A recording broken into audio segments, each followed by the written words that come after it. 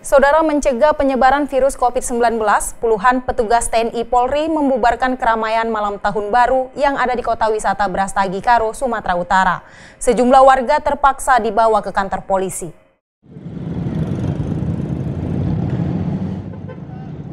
Meski sudah ada peringatan pemerintah agar tidak berkumpul pada malam pergantian tahun, namun ratusan warga di kota Brastagi, Kabupaten Karo, Sumatera Utara tetap berkumpul menggelar pesta malam tahun baru. Situasi ini membuat tim Satgas Gabungan Pemerintah Daerah setempat langsung menertibkan kerumunan warga. Tindakan ini diambil untuk mengantisipasi klaster baru masa pandemi COVID-19 yang masih berlangsung.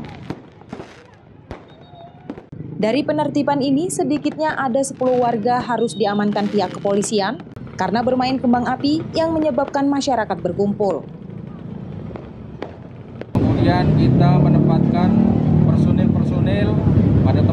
yang rawan keramaian terjadi keramaian seperti di Tugu Juang Brastagi yang memang setiap tahunnya biasa dipakai untuk masyarakat dalam merayakan tahun baru. Nah saat ini karena semua bersinergi bersepakat untuk tidak ada kegiatan perayaan tahun baru maka kita turunkan personil gabungan TNI Polri untuk mengamankan dan menjaga supaya tidak terjadi kerumunan masa yang besar atau uh, di daerah Tugu Juang Rastagi.